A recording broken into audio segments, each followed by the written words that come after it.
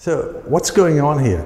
Tell us about the about your room here. Yeah, this room is uh, it's like a gift shop, and we decided to call it gift shop. But um, when I was a kid in Cleveland, I would go to the mall, and there was Spencer's gift shop.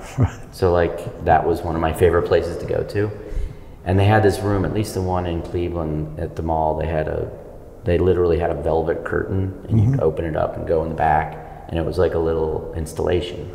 It had blacklight posters and lava lamps and holograms and weird, you know, stuff. How old were you? Uh, between like five and twelve. Well, must And have- impressionable. Very. So this room is really autobiographical in a sense. Yeah, yeah. It's all, something I've also wanted in a in a real show, like a like a museum show, is that you have a gift shop, Right. and that someday I'd like to do that where the gift shop, mm-hmm. if I had a show with stuff for sale, is kind of also like Spencer's Gifts, mm-hmm. and even maybe have some found things, but design everything, like say T-shirts and post, you know, the whole thing. So this is a a first whack at that uh-huh. kind of idea. So can you talk us a little bit Yeah. about that piece here? What's the medium? That is oil pastel. Yeah, and there's a black light There- uh, shining on it horizontally. Yeah, there's the black light that is, it's like the Dan Flavin corner pieces. It's a gorgeous piece, pictorially. Yeah, it came out nice. I, Yeah. And I left all the particles on the floor on purpose. Mm-hmm. It's very, when you look at the texture, it's very, very loose and falling apart and a mess. But um, the geometry is really strict. Right. So it kind of Right. holds together that uh, mess. This is a ripple tank.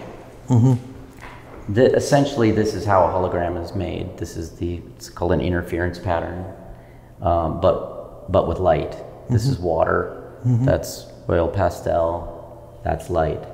And they're all the same manipulation of, of waves, mm-hmm. wave patterns. So to me, it's kind of like magic. It's like a core magic of my uh, process. I believe this piece over here is like a technical tour de force, um, Yeah. which it's actually a hologram of a tambourine. And um, can you tell us about the technique of this piece? Yes, this is called a, a Denisyuk hologram. It's a uh, Russian technique. All I simply did is just take this plate of glass that um, is coated in uh, England. I just take the piece of glass and lay it on top of those prongs that you see there. And then laser light hits it.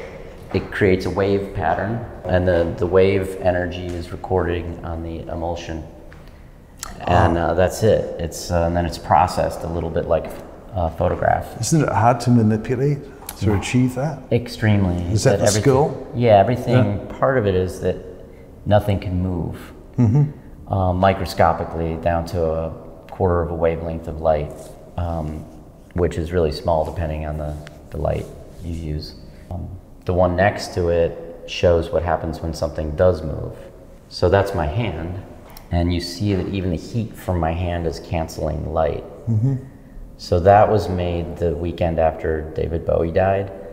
And uh, I made a series of holograms of my hand where, because I'm moving and because I'm alive, it's killing the light, it's destroying the image. And metaphorically, the my being alive is killing light. So a lot of my work has to do with light. So it's called destructive interference. This group of holograms, they're called uh, Orders of Light, and they're.